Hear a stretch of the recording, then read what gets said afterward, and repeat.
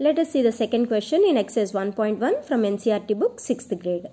The second question is place the commas correctly and write the numerals.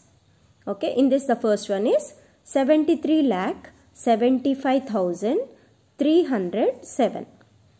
Here 73 lakh, so that means in lakhs place write 73. Next is 75,000. So in thousands period write 75 and 307 in ones period. So the number is 73 comma 75 comma 307. Right. In the next one is 9 crore 5 lakh 41.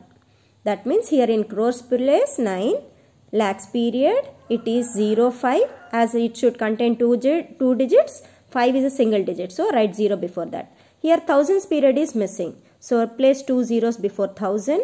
And in ones period it is 041 as ones period should contain three digits 41 is a two digit number. So 041 right?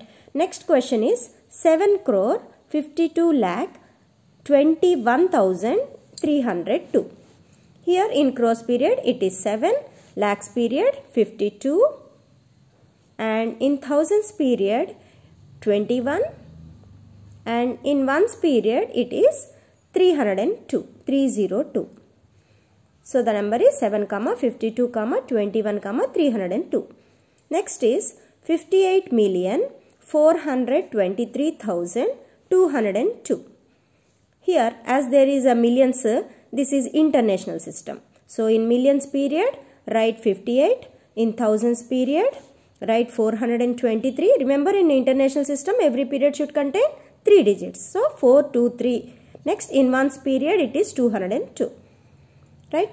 And the last one is 23 lakh 30,010 here as lakhs period it is there. It is Indian system again. So in lakhs period write 23 and in thousands period write 30 and in ones period it is 0 1 0 10 means 2 digits. So before 0 so you know last period should contain 3 digits